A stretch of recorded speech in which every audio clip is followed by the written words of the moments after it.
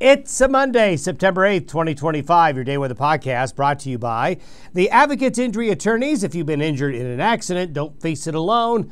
Get an experienced local Wyoming attorney on your side. Free consultations at wyomingadvocates.com or call 307 800 1952. You deserve an advocate. Mild September weather is ahead this week, really for more than a week. We don't have anything rocking the boat in terms of a big cold shot yet, but what we will see is a persistent, what we would call troughiness. Not really a word, but overall, the far western United States is going to have an area of low pressure, several of them that are going to come off the Pacific and settle into the region. And with these troughs around, you're going to have the weather be unsettled, but at the same time, temperatures are going to be mild. And with winds aloft changing, instead of the winds aloft coming in from the northwest, they're going to come from the southwest. So that's going to really improve smoke conditions. And for areas along and west of the divide, but east of the divide as well, there's going to be a little bit of shower and thunderstorm activity kind of here and there, not really organized except in one area that we'll show you here in a moment that could get real wet. Uh, but there's just basically this is not a bad pattern at all. There's no hard freeze threat coming. Temperatures are going to be warm. They're going to be warmer than they've been, but they're not going to be hot. And we're going to occasionally have some shower and thunderstorm activity around. That's how this week is going to go.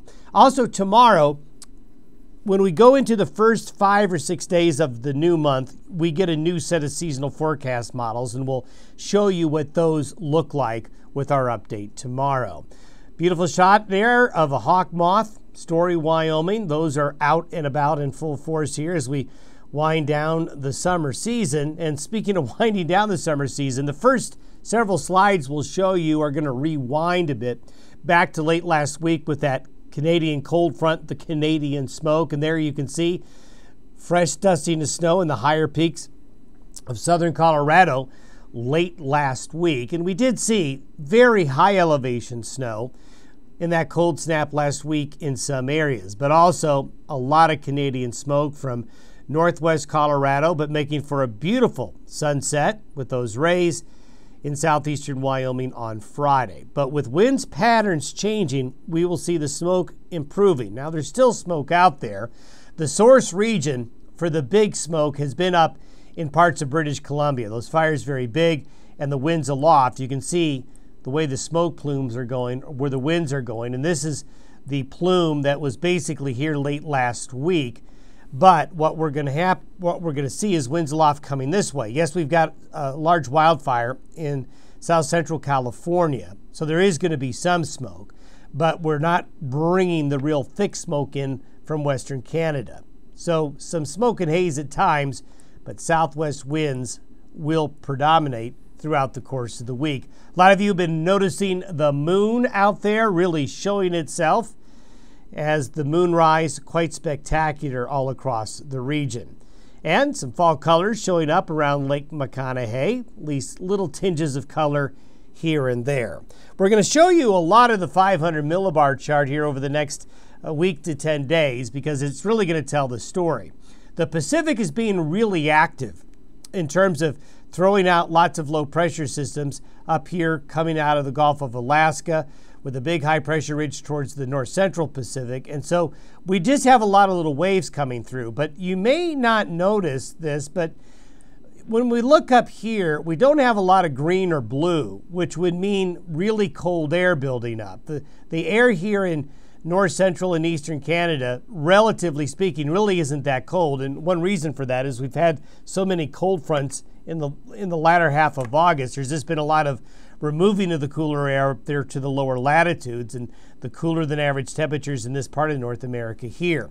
But we don't have a lot of really cold air up here yet to bring in. What we're going to be bringing in is uh, more uh, Pacific air that's going to be influenced by the water more. So it's it's going to be cooler and moist up here in the Pacific Northwest, but we don't have the real cold yet, at least queued up, at least here over the next 7 to 10 days. But what we do see are several of these low pressure systems coming in. So this is today. So there is going to be some precipitable water to work with, not a lot, but we will have some showers and thunderstorms this afternoon and evening in these areas highlighted here. Tomorrow, the water content gets a little bit better. So we'll see an uptick in thunderstorm activity in the front range of Colorado, eastern Wyoming, out across parts of Nebraska and South Dakota and the Pacific Northwest here. There will be some rain falling in the fires of British Columbia this week, and that'll help out with the smoke as well. As we go through the week, this is for Thursday. We still have the low. It's just kind of parked here over parts of California and the Northwest Great Basin with another trough coming in behind it. We don't have any real big cold air buildup here yet by the end of the week. But we have southwest flow aloft, keeping temperatures mild, keeping moist, unstable air west of the divide, bringing occasional showers and thunderstorms. So if you add up the next five days, you can see that Oregon, Northern California, Montana, up into British Columbia here, southwest areas of Canada, and then down into the four corners there. Look at this down here in Colorado. The southwest flow will bring instability and some showers and thunderstorms here.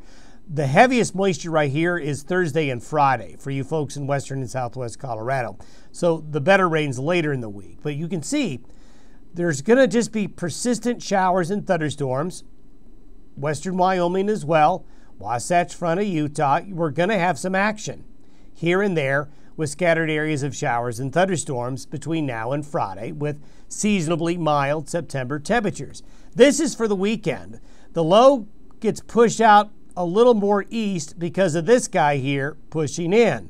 And it just kind of parks itself. Notice if we were to draw where the jet stream will be, we've got this high going up like this. This is a slow pattern because you end up getting the low to come in the low's coming in off the coast. This pumps up the high, that pumps down a low up into Canada, and you get this omega shape. This is, is a pattern where storms and systems aren't going to move very quickly. The faster moving jet stream winds are up here. So you're just going to have persistent low pressure systems. Here's another one. Here's another one. They're just going to come into the west, the Pacific Northwest in particular, and settle into the northern Rockies. So that's how this week and weekend will go. And that's how it looks next week. So this is this is Saturday, this is Sunday. So the weekend we're going to have a persistent area of low pressure in the west. That'll bring showers and thunderstorms, keep temperatures mild, not cold, but certainly we're not bringing in any desert air either, so it's not going to be hot. And you can see the omega pattern is still there. So things are going to be slow to happen. The stronger jet stream winds are way up north. So we're going to be locked out from anything really cold up here. We're going to have the door open to Pacific Northwest moisture and energy coming on through. Got a hurricane potential down here off the west coast of Mexico by this weekend as well. So if we were to look at the three days of Friday through Monday, look at this. Going to see significant rains in Montana, southern Alberta, Saskatchewan. The Dakotas could do quite well. I also expect some showers and thunderstorms in western Wyoming to help out with the fire situation there and into the Pacific Northwest. And you can see along the spine of the Rockies, there's going to be some scattered showers and thunderstorms. So it's not monsoonal, it's Pacific moisture that's coming on in. So it could be quite wet up here, especially if you add up the next five to seven days. And yes, there will be some high elevation snow, but since we're not going to entrain any really cold Canadian air into these systems, the snow levels are going to be they're going to be tree line and above. They're going to be pretty high. But some of the higher mountains, especially this weekend, will see some higher elevation snow potential, but it's not going to amount to too much. Next week, this is Tuesday next week. Notice things aren't changing. We're kind of stuck. There's the omega pattern. So the lows will continue in the Pacific Northwest the central and northern Rockies. You're going to be warmest in the nation's midsection underneath this skinny high pressure ridge.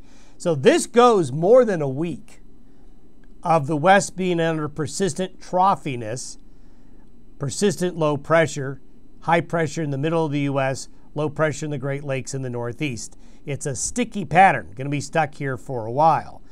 Going out further, this is all the way to the 19th of September. So things are going to start to change right around that time frame. You still see the same pattern right here, that omega still kind of there.